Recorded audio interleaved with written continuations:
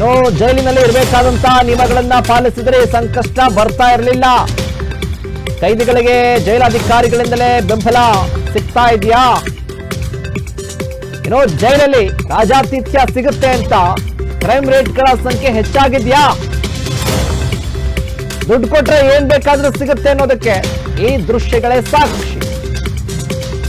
ಈ ವಿಡಿಯೋ ನೋಡಿದ್ರೆ ಆರೋಪಿಗಳ ಮುಖದಲ್ಲಿ ಪಶ್ಚಾತ್ತಾಪ ಕಾಣಿಸ್ತಾ ಇದೆಯಾ? ಸಿಗ್ತಾ ಇದೆಯಾ ನಿಮ್ಗೆಲ್ಲಾದ್ರೂ? ಸಾಧ್ಯವೇ ಇಲ್ಲ. ಮಿನಿಮಮ್ ಕಾಮನ್ ಸೆನ್ಸ್ ಕೂಡ ಅಲ್ಲಿರುವಂತ ಅಧಿಕಾರಿಗಳು ಇಲ್ಲ ಅನ್ನೋದು ಗೊತ್ತಾಗ್ತಾ ಇದೆ. ಜೈಲಲ್ಲಿ ಇರಬೇಕಾಗಿರುವಂತ ನಿಯಮಗಳನ್ನ ಪಾಲಿಸುತ್ತಿದ್ದರೆ ಈ ಸಂಕಷ್ಟ ಬರ್ತಾ ಇತ್ತಾ? ಜೈಲಧಿಕಾರಿಗಳಿಂದಲೇ ಕೂಡ ಬೆಂಬಲ ಸಿಗ್ತಾ ಇದೆಯಾ? ಇತ್ತೀಚಿನ ದಿನಗಳಲ್ಲಿ ಯಾಕಪ್ಪ ಇಷ್ಟೊಂದು ಕ್ರೈಮ್ ರೇಟ್ ಜಾಸ್ತಿ ಆಗ್ತಾ ಇದೆ? ಅನ್ನೋದಕ್ಕೆ ಜೈಲಲ್ಲಿ ರಾಜಾತಿಥ್ಯ ಸಿಗುತ್ತೆ ಅಂತಾನೆ ಕೂಡ ಕ್ರೈಮ್ ರೇಟ್ ಜಾಸ್ತಿ ಆಗ್ತಾ ಇದೆಯಾ ಹಾಗಾದ್ರೆ ಅಂತ. ದುಡ್ಡು ಕೊಟ್ರೆ ಏನು ಬೇಕಾದರೂ ಸಿಗುತ್ತೆ ಅನ್ನೋದಕ್ಕೆ ಈ ದೃಶ್ಯಗಳೇ ಸಾಕ್ಷಿಯಾಗಿರೋದು. ಜೈಲಿನಲ್ಲಿ ಇರಬೇಕಾಗಿರುವಂತ ನಿಯಮವನ್ನ ಪಾಲಿಸಬೇಕಾಗಿತ್ತು. ಆದ್ರೆ ಜೈಲಧಿಕಾರಿಗಳೇ ಕೂಡ ಬೆಂಬಲವನ್ನ ಕೊಡ್ತಾ ಇದ್ದಾರೆ ಎನ್ನುವಂತ ಗಂಭೀರ ಆರೋಪ ಕೂಡ ಕೇಳಿ ಬರ್ತಾ ಇದೆ. ದುಡ್ಡು ಕೊಟ್ರೆ ಏನ್ ಬೇಕಾದ್ರೂ ಸಿಗುತ್ತೆ ಅನ್ನೋದಕ್ಕೆ ಈಗ ನೋಡ್ತಾ ಇರುವಂತ ದೃಶ್ಯಗಳೇ ಸಾಕ್ಷಿಯಾಗಿದೆ.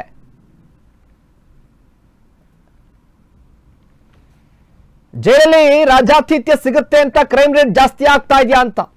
ಏನೋ ನಮ್ಮ ಜೊತೆ ಮಾತನಾಡೋದಕ್ಕೆ ಈಗಾಗಲೇ ಕೂಡ ಫೋನ್ ಸಂಪರ್ಕಕ್ಕೆ ಸಿಕ್ಕಿದ್ದಾರೆ ರೇಣುಕಾಚಾರ್ಯ ಅವರು, ಮಾಜಿ ಶಾಸಕರು ಮಾತನಾಡಿಸ್ತಾ ಹೋಗೋಣ. ಸರ್, ನಮಸ್ತೆ. ಸರ್, ಇದೇನು ಸೆರಮನೇನೋ ಅರಮನೇನೋ ಅನ್ನೋ ಪರಿಸ್ಥಿತಿಗೆ ರಾಜ್ಯದಲ್ಲಿ ಉಂಟಾಗ್ತಾ ಇರುವಂತದ್ದು ದರ್ಬಾರ್ ನಡೀತಾ ಇದೆ. ಇದರ ಜೊತೆಗೆ ಗಾಂಜಾ ಸಪ್ಲೈ, ಫೋನ್ ಸಪ್ಲೈ, ಗನ್ನು, ಬುಲೆಟ್ಗಳು ಎಲ್ಲಾ ಸಿಗ್ತಾ ಇದೆ ಸರ್. ಏನ್ ಕಾನೂನು ವ್ಯವಸ್ಥೆ ಎಷ್ಟರ ಮಟ್ಟಿಗಿದೆ ಸರ್ ಈಗ? ಏನ್ ಹೇಳ್ತೀರಿ? ರಾಜ್ಯ ಸರ್ಕಾರ ಅರ್ಥ ಮಾಡ್ಕೊಳ್ಬೇಕು.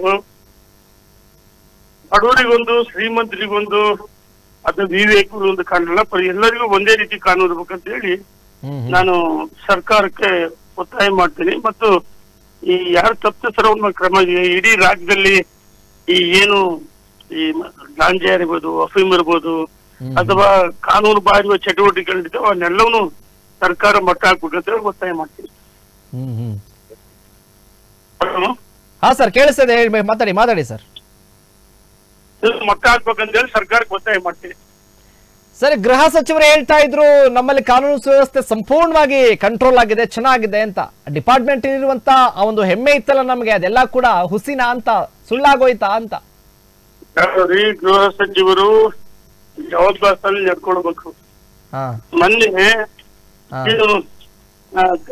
ಸಿದ್ದರಾಮಯ್ಯರ ಮೇಲೆ ಗೂಢ ಅಥವಾ ರಾಜ್ಯಪಾಲರು ಪ್ರಾಸಿಕ್ಯೂಷನ್ ಕೊಟ್ಟಾಗ ರೀತಿ ಭಂಗ ಮಾಡ್ತೀವಿ ಅಂತ ಹೇಳಿ ಅವ್ರ ಶಾಸಕರು ಹೇಳಿ ಸಚಿವ ವಿಧಾನ ಪರಿಷತ್ ಸದಸ್ಯ ಹೇಳಿದ್ರು ಸಚಿವರು ಹೇಳ್ತಾರೆ. ಹ್ಮ್ ಹ್ಮ್.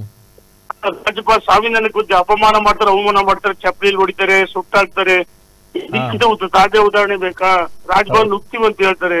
ಹ್ಮ್. ಇವತ್ತೆಲ್ಲಿದೆ ಅದು ಆಡಳಿತ ಮಾಡ್ತಾರೆ ಅವರೇ ಬೀದಿ ಇಳಿದು ಹೋರಾಟ ಮಾಡ್ತಾರೆ ಅಂದ್ರೆ ಗಾಜಿನ ಮನೇಲಿ ಕೂತ್ ಕಲ್ಲ ಹೊಡಿತಾರೆ ಹ್ಮ್ ಹ್ಮ್ ಹ್ಮ್ ಹ್ಮ್.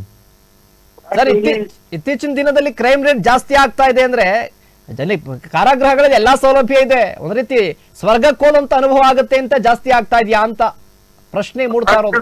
ಕಾನೂನು ಸುವ್ಯವಸ್ಥೆ ಹಾಳಾಗಿದೆ. ಕಾನೂನು ಸುವ್ಯವಸ್ಥೆಯನ್ನು ಕಾಪಾಡಬೇಕಾದವ್ರೆ ಇವತ್ತು ಕಾನೂನನ್ನ ಕೈ ತೆಗೆದುಕೊಂಡು ಆಡಳಿತ ಮಾಡ್ತಾರೆ ರಾಜ್ಯದಲ್ಲಿ ಸರ್ಕಾರ ಅಸ್ಥಿರ ಆಗಿದೆ ಮತ್ತು ಸಂಪೂರ್ಣವಾಗಿ ವಿಫಲವಾಗಿದೆ ಅಂತ ಹೇಳಕ್ ಇಷ್ಟಪಡ್ತೀನಿ okay okay sir thank you sir Renuka Swamy ಅವರು ಮಾತನಾಡಿದ್ದಕ್ಕಾಗಿ ನ್ಯೂಸ್ ಆನ್ ಕರ್ನಾಟಕಕ್ಕೆ ಧನ್ಯವಾದಗಳು. ಈಗಾಗಲೇ ಕೂಡ ಅವರು ಮಾತನಾಡ್ತಾ ಇದ್ರು. ಯಾಕೆಂದ್ರೆ ಈಗಿರುವಂತ ವ್ಯವಸ್ಥೆಗಳು ಹೆಂಗಿದೆ ಅಂತ ಅಂದ್ರೆ ಕಾನೂನು ಸುವ್ಯವಸ್ಥೆ ಸಂಪೂರ್ಣವಾಗಿ ಹದಗೆಟ್ಟು ಹೋಗಿದೆ. ಅದ್ರಲ್ಲಿ ನೋ ಡೌಟ್ ಅದ್ರಲ್ಲಿ ಯಾವುದೇ ಅನುಮಾನ ಇಲ್ಲ. ನೋಡಿದ್ರೆ ಗೊತ್ತಾಗುತ್ತೆ. ಅವ್ರ ವರ್ತನೆ ನೋಡಿದ್ರೆ ಗೊತ್ತಾಗುತ್ತೆ. ರಾಜ್ಯಪಾಲರ ವಿಚಾರದಲ್ಲೂ ಕೂಡ ಅದೇ ರೀತಿ ಆಯ್ತು. ಎಲ್ಲ ಕೂಡ ಈ ರೀತಿಯಾಗಿ ಹೇಳಿಕೆ ಕೊಡ್ತಾರೆ ಅಂತ ಅಂದ್ರೆ ಇದೆಲ್ಲ ಸರ್ವೇ ಸಾಮಾನ್ಯವಾಗಿ ನಡೀತಾ ಇದೆ. ಇದೆಲ್ಲ ಕಂಟ್ರೋಲ್ ಬರಬೇಕು ಅಂತ ಅಂದ್ರೆ ಸರ್ಕಾರ ಕಟ್ಟುನಿಟ್ಟಿನ ಕ್ರಮವನ್ನ ತೆಗೆದುಕೊಳ್ಬೇಕು. ಬಿಗಿಯಾದಂತ ಕ್ರಮವನ್ನ ಜಾರಿ ಮಾಡಬೇಕು. ದಿನೇ ದಿನೇ ದಿನೇ ಕ್ರೈಮ್ ರೇಟ್ ಕೂಡ ಜಾಸ್ತಿ ಆಗ್ತಾ ಇದೆ ಅನ್ನೋದಕ್ಕೆ ಕಾರಣ ಇನ್ನೇನು ನಾವು ಯಾವುದೇ ಕಾರಾಗೃಹಕ್ಕೆ ಹೋದ್ರೂ ಕೂಡ ಆರಾಮಾಗಿ ಸಿಗುತ್ತಲ್ಲ ಜೀವನ. ಆರಾಮಾಗಿ ಇರಬಹುದಲ್ಲ. ಹಾಗಾಗಿ ಈ ರೀತಿಯಾಗಿ ಸಾಕ್ಷಿಗಳು ಸಿಗ್ತಾ